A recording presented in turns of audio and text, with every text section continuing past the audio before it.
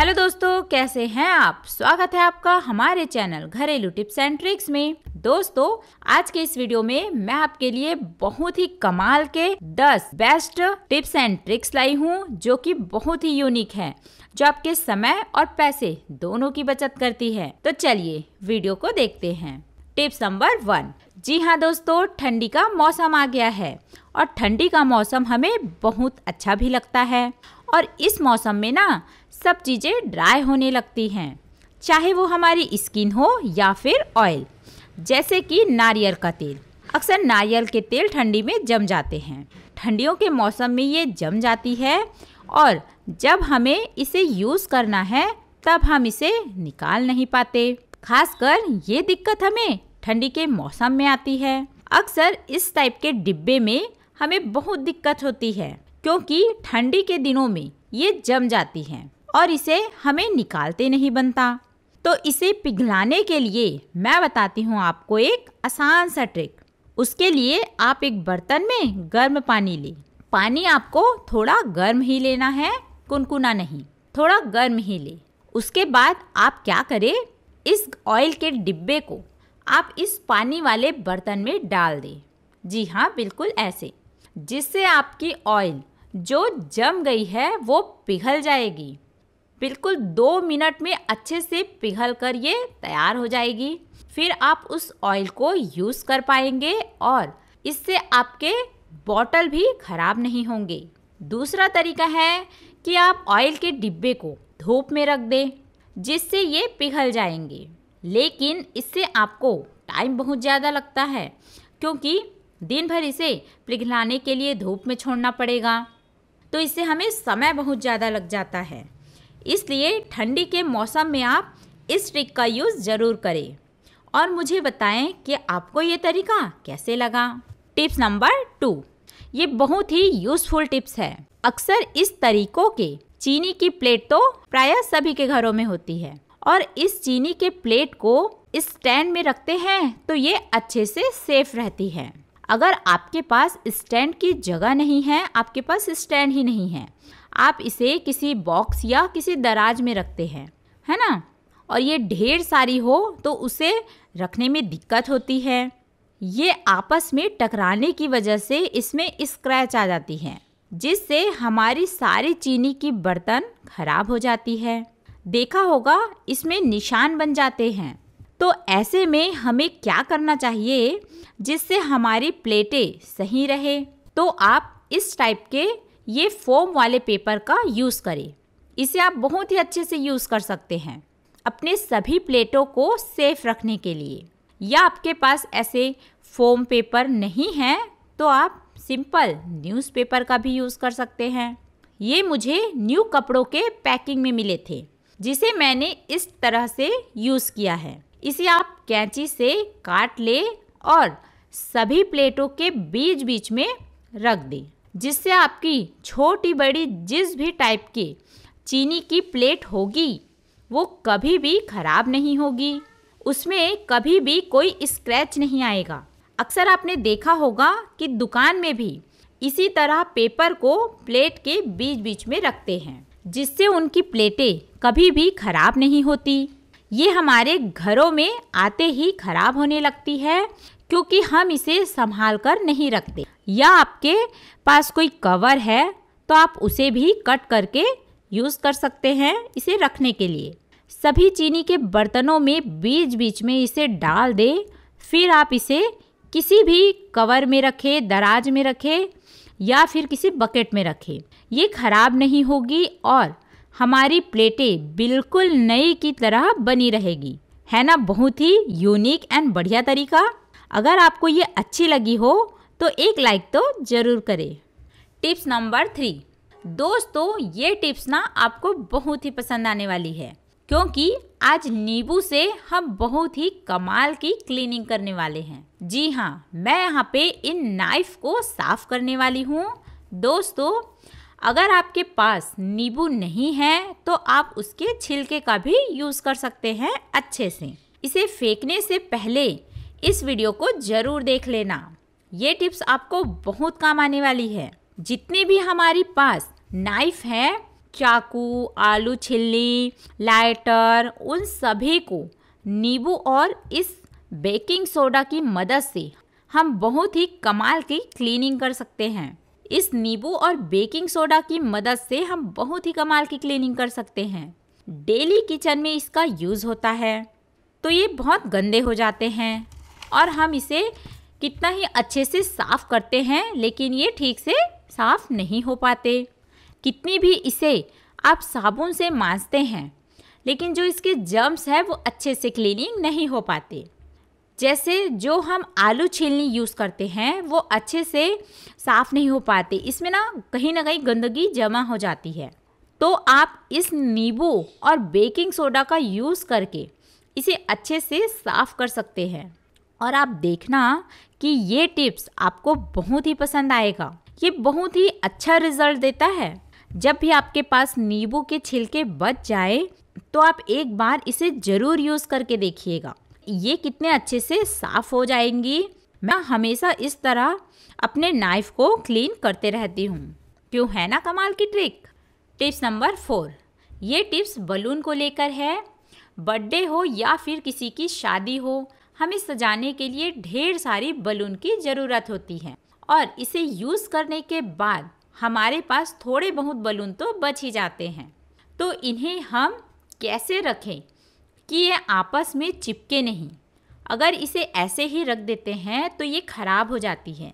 ये आपस में चिपक सी जाती हैं।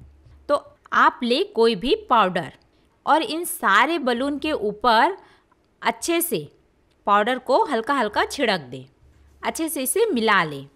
बस, आप देखेंगे कि आपके बलून अब आपस में चिपकेंगी नहीं और ये ख़राब भी नहीं होंगे। इसे आप एक डिब्बे में स्टोर करके भी रख सकते हैं।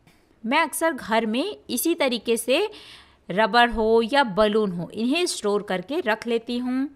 टिप्स नंबर फाइव, बलून को ही लेकर मेरा दूसरा टिप्स है, जब भी हमारे हाथों में चोट लग जाए, जैसे कभी चाकू से काटते समय उंगलियाँ कट जाती हैं या फिर किसी भी कारणवश आपकी उंगलियों में चोट लग जाए। तो आप ना इस बलून का यूज़ बहुत ही अच्छे तरीके से कर सकते हैं। अपने हाथों को सेफ़ रखने के लिए इसका यूज़ कर सकते हैं, क्योंकि हम बार बार हाथों को पानी में नहीं भिगाना चाहते। अगर इस बलून को हम पहन ले अपने उंगलियों में तो हमारी घाव में पानी भी नहीं जा पाएगी और हमारा काम भी आसानी से हो जाएगा। है ना? हमें बिल्कुल भी दिक्कत नहीं होगी। ये बहुत ही अच्छा तरीका है। Tips number six. अब जो मेरी अगली टिप्स है, वो है लहसुन को लेकर। हम लंबे समय तक लहसुन को कैसे स्टोर करके रखें कि वो ख़राब ना हो? अगर आप भी घर में बहुत ज़्यादा मात्रा में लहसुन लाते हैं और चाहते हैं कि ये अच्छे से रहें, इन्हें आप बहुत दिनों तक स्टोर करके रख सकें तो आप क्या करें कि पहले तो जितने भी खराब वाले लहसुन हैं, उन्हें अलग कर लें। और जितने अच्छे वाले लहसुन हैं, उन्हें अलग कर ले। उसके बाद आप एक एक कर सभी लहसुन को अलग अलग निकाल ले, जिससे लहसुन को हवा भी अच्छे से मिलेगी और ये खराब नहीं होंगे।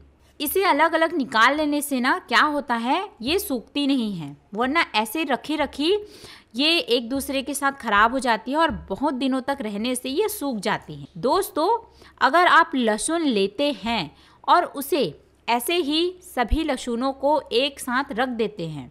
तो क्या होता है? ये खराब होने लगती हैं। तो दूसरा भी खराब होने लगता है। इसलिए जब भी मार्केट से लहसुन लाते हैं तो सबसे पहले उसे छाँट कर अलग कर ले। बहुत ज़्यादा मात्रा में लहसुन स्टोर करने से क्या होता है कि अगर इसका यूज़ जल्दी नहीं किया तो ये रखी रखी सूख जाती हैं। तो आप एकदम से ज़्यादा मात्रा में ना ले, लहसुन को थोड़ा थोड़ा ही ले, जिससे हम इसका अच्छे से यूज़ कर पाएँ। और अगर इस तरीक़ों से आप लहसुन को रखते हैं तो आपकी लहसुन लंबे समय तक सेफ़ रहेगी। ये कभी भी ख़राब नहीं होंगी। उम्मीद करती हूँ आपको ये टिप्स पसंद आई हो।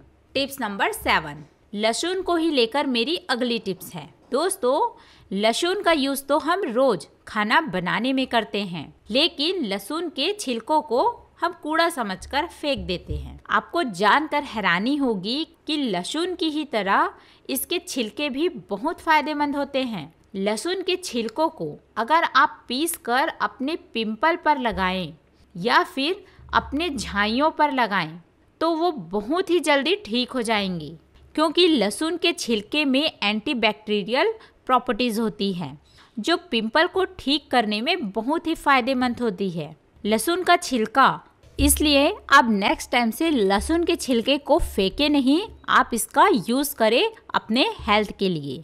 टिप्स नंबर एट दोस्तों, ये मेरी बहुत ही छोटी सी टिप्स है चश्मा को लेकर, जिसे मैं आपसे शेयर कर रही हूँ। सिंपल चश्मा हो, पावर वाले चश्मे हो या फिर थोड़े फैंसी वाले चश्मे हो। जिस भी टाइप के आपके पास चश्मा हो, देखना उनकी ग्लास बहुत जल्दी खराब हो जाती हैं, क्योंकि इन्हें हम संभाल कर नहीं रख पाते, है ना? इन सभी चश्मों को हम सुरक्षित कैसे रखें? अब सभी चश्मों के लिए तो हमारे पास छोटे बैग नहीं होते, कोई कवर नहीं होता हमारे पास। तब क्या करें? जिससे हम इन चश्मों को सेफ़ रख सकें। तो आप क्या करें? आप ना सिल्वर पेपर, जो फॉइल पेपर होता है, उसका यूज़ करें मैं आपको करके बताती हूँ। आप इसे ऐसे कट कर ले। जितना आपको ज़रूरत है, उतना ही ले। ये हमें बहुत ज़्यादा नहीं चाहिए, बस थोड़ा सा ही। उसके बाद आप क्या करें? इस पेपर को आप इस ग्लास के सामने ऐसे लगा दें। इसे पूरा कवर कर ले। देखिए, इससे हमारी चश्मों को कोई नुकसान नहीं पहुंचेगा।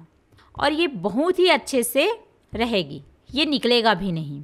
इसमें कहीं पे भी कोई स्क्रैच नहीं पड़ेगी। अब चाहे आप इसे अपने बैग में रखें या फिर किसी बॉक्स में रखें, जैसे चाहे वैसे रखें। ये बिल्कुल भी ख़राब नहीं होंगे, ना इसमें कोई स्क्रैच आएगी। है ना कमाल के टिप्स उम्मीद करती हूँ आपको ये टिप्स पसंद आई हो। टिप्स नंबर नाइन ये टिप्स ना आपको बहुत पसंद आएगी। अक्सर हम लेडीज़ों को कहीं बाहर जाना होता है। और ऐसे में हम नेल पेंट लगाते हैं। फिर इस नेल पेंट को सुखाने के लिए पाँच दस मिनट तो ऐसे ही लग जाते हैं। और जल्दबाजी में हम इतना समय दे नहीं पाते, जिससे हमारी नेल पेंट जो है वो खराब हो जाती है। तो उस समय आप इसे सुखाने के लिए क्या करें? मैं बताती हूँ आपको एक आसान सा ट्रिक आप एक कटोरी में अच्छा ठंडा पानी ले लें। अगर पानी फ्रिज का है तो और भी अच्छा बात है। बस, इस पानी में आप अपनी उंगलियों को कुछ सेकंड के लिए डुबा कर रखें। हमें बहुत देर तक नहीं रखना है, बस कुछ सेकंड के लिए ही इसे रखना है। फिर देखिएगा इसका कमाल। आपके नेल पेंट कैसे एकदम बढ़िया से सूख जाएँगे। वो बिल्कुल भी ख़राब नहीं होंगे। फिर आप कितनी भी जल्दी में हो, ये कुछ नहीं होंगे। यूज़ करके देखें अगर ये टिप्स आपको पसंद आए हो तो मुझे एक लाइक तो ज़रूर करें। टिप्स नंबर टेन अब जो मेरी नेक्स्ट टिप्स है, वो है एल्यूमिनियम फ़ाइल को लेकर। टिफ़िन में खाना पैक करना है। तब इस एल्यूमिनियम फ़ाइल की बहुत ज़रूरत पड़ती है, जिससे कि खाना अच्छे से गर्म रहे, या जब भी हम कुछ बेकिंग करते हैं, या किसी बर्तन की सेप बनाना चाहते हैं तो इसकी ज़रूरत पड़ती ही है। जब भी हमें इसे बर्तन या फिर टिफ़िन के अंदर डालना हो तो होता ये है कि इसकी साइड बिल्कुल भी अच्छे से नहीं आती। ये फ़ाइल पूरा ख़राब हो जाता है। तो इसे सही तरीके से हम कैसे लगाएँ? मैं आपको बताती हूँ एक आसान सा तरीका, जिससे आप इस एल्यूमिनियम फ़ाइल से टिफ़िन को अच्छे से पैक कर सकते हैं, या फिर आपको कुछ बनाना हो तो आप इसकी सेप दे सकते हैं। आप इसे उल्टा करके जिस भी बर्तन में आपको ये एल्यूमिनियम फ़ाइल लगाना है। और इस बर्तन या टिफ़िन की ही साइज़ का आप इसे कट कर ले और इसे उल्टा करके इस पेपर को इसके ऊपर रख दे और इसे हाथों की मदद से अच्छे से दबा ले। आप देखेंगे कि इससे उस टिफ़िन या फिर आपको जिस भी बर्तन में लेना है, ये फ़ाइल उसकी सेफ़ ले लेगा। इसे हल्के हाथों से ही दबाए। और फिर इसे पलट कर आप इसे इसके अंदर अच्छे से डाल दें। आप देखेंगे कि ये बड़ी ही आसानी से इसमें आ गई। अब आप इसमें अच्छे से अपने बच्चों के टिफ़िन पैक कर सकते हैं। अब आपको इसे यूज़ करने में कोई परेशानी नहीं होगी। है ना कमाल के टिप्स? एक बार ज़रूर ट्राई करें। फिर मुझे बताएँ आपको ये तरीका कैसे लगा। तो दोस्तों, कैसी लगी आपको मेरी ये छोटी छोटी टिप्स एंड ट्रिक? प्लीज़ मुझे लाइक करें और मेरे चैनल को सब्सक्राइब करें। मैं इसी तरीकों के नए नए वीडियो आपके लिए लाते रहूँगी। धन्यवाद।